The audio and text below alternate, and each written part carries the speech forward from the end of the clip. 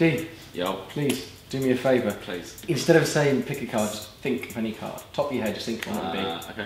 be. What is it? It's it. Uh, nine clubs. The nine of clubs. I mean, completely free choice, yeah? Yep. I just want to show you the cards. They are all completely different. Full deck of 52. Yep. And you really can see that they're all different. Yeah?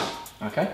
Nine of Clubs. clubs. Okay. Yeah. What I want you to do is just think of that card and you see the black, you see the nine, and you know what that card is. Mm-hmm. 100%. Yep. Okay. What you to do, just get this out of the way. You could have chosen the eight, you could have chosen the nine of spades as partner, or even the king of diamonds, but you chose the nine of clubs, isn't it? Yep. And watch, I actually made a little prediction ahead of time. If you actually have a little look inside here, you can actually see there is one card there, the nine of clubs. Uh-huh. But I knew you were going to pick that, so I actually predicted on the back, just like that, a little marking. The weird thing is this, you're probably a bit sceptical, but uh, there's absolutely nothing else on the back of all of the cards and everything is completely examinable. Okay, I'm with Cost himself, you see and D. Once again, Back again. please do me a favour guys. Um, I'm going to run down the deck first of all D and just say stop whenever you want.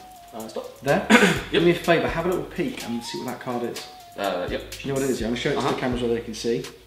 Okay, I'm going to lose it back in quite fairly. Mhm. Fair? Yep. Uh, and Costas, please do me a favour, just merely, just name any card, just think of one, what would it be? Jack of spades. Jack of spades, yeah? Okay. And just to show you, this is a full deck, and they really are completely mixed, but Yeah. the Jack of spades, okay? Yeah. What you need to do is just merely think of that card.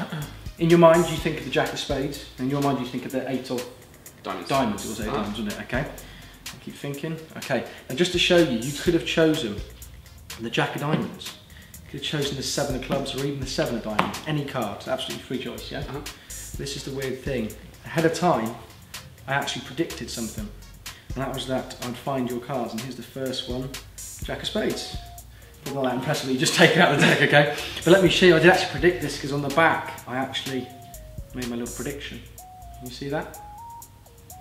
Very good. So, but the weird thing is this, if you look even closer, you see I actually predicted your card as well. The eight, Nice. diamonds there. Just like that.